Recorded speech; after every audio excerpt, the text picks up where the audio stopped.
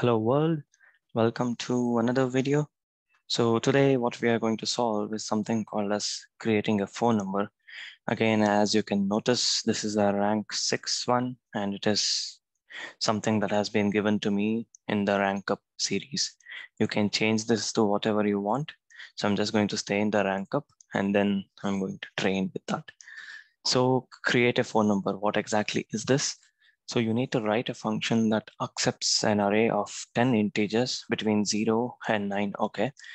Uh, that returns a string uh, of those numbers in the form of a phone number, okay?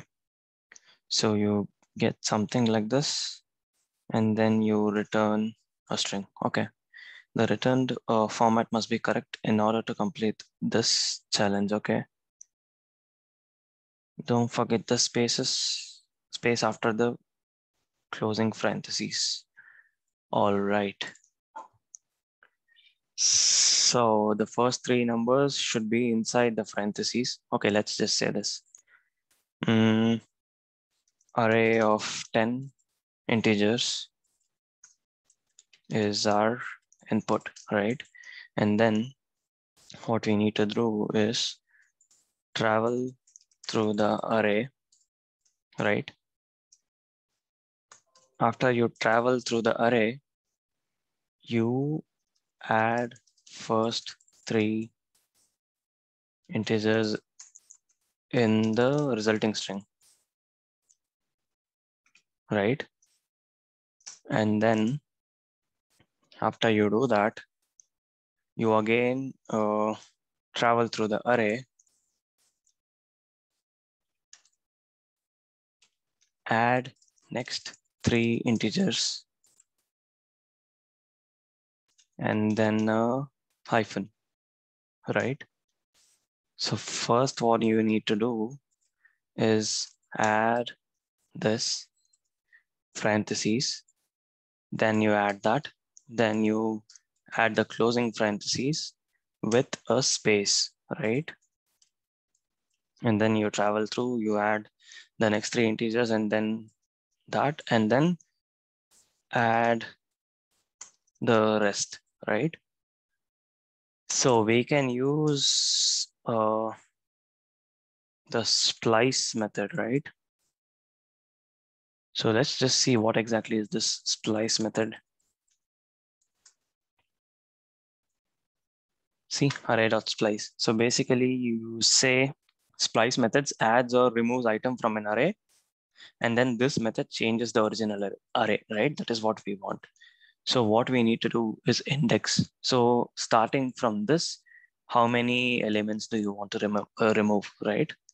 So we have an array now. Let's just say, let hmm, phone number equal to a, wait, it returns, what does it return? Returns the removed items, right? Okay, so let's just say phone number is equal to uh, this numbers dot splice. Starting from zero, I need three, right? So I'm just going to console log this phone number to see what exactly is happening. Console log phone number, right? Let's just test it out. So we have an array.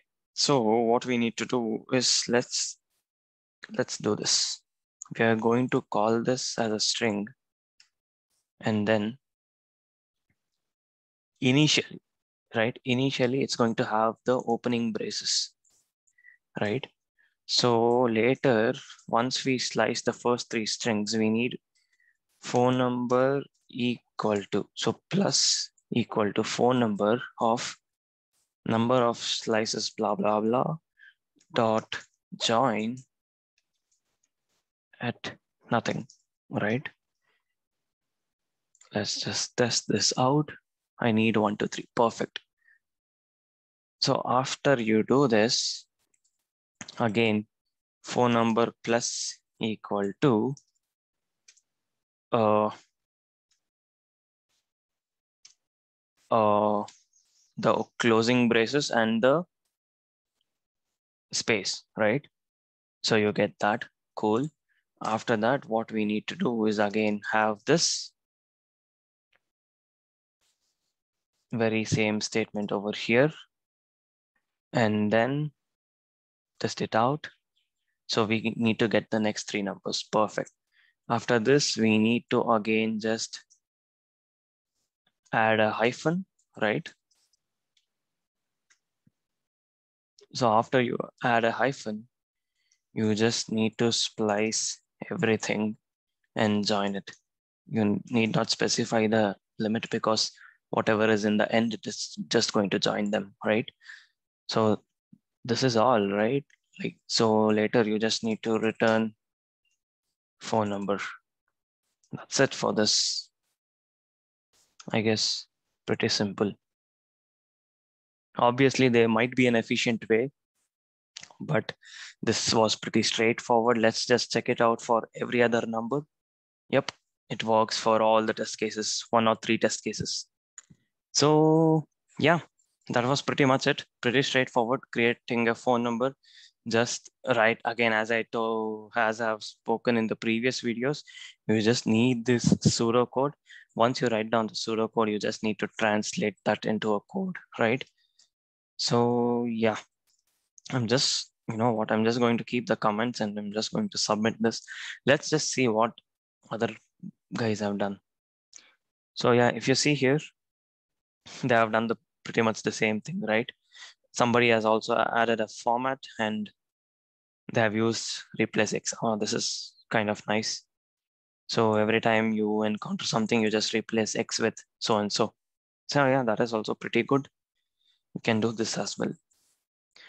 So yeah, that's it for this video. Hopefully you enjoyed it. I'll see you in the next one.